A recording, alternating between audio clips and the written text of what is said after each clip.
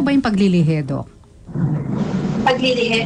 Ah, yeah. Yung, so, So, totoo meron yun? na talaga pasyente na talagang nagki-crave ng ganito.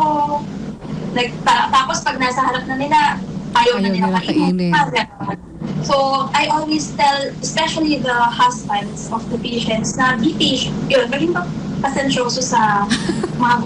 Mga misis nila. Oo. Oo. Ah, oo, kasi ano yun eh, yun nga, maraming mga changes during pregnancy. So, yung mood swing, yung paglilihi, kasama talaga siya. Sa palagay ko, Kahit- hormonal din yan eh, no? Mas Yung mga oo. cravings mo, behavioral changes, Oo. oo. It's, be, it's beyond their control actually.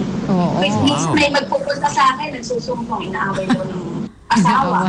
Yeah. Tapos ang sabi niya sa akin, hindi ko din po maintindihan kasi hindi naman Mahilig sa Ah, ganon, oo.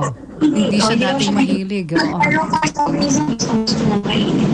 So, lagi kong sinasama minsan yung asawa explain na yung mga ganong changes is um, kasama sa pregnancy. So, Mm-mm. uh, kailangan niyang intindihin and kailangan niyang hamaan yung pasensya sa asawa niya. Kasi Mm. nagsisisi. Okay. Ayun, oo.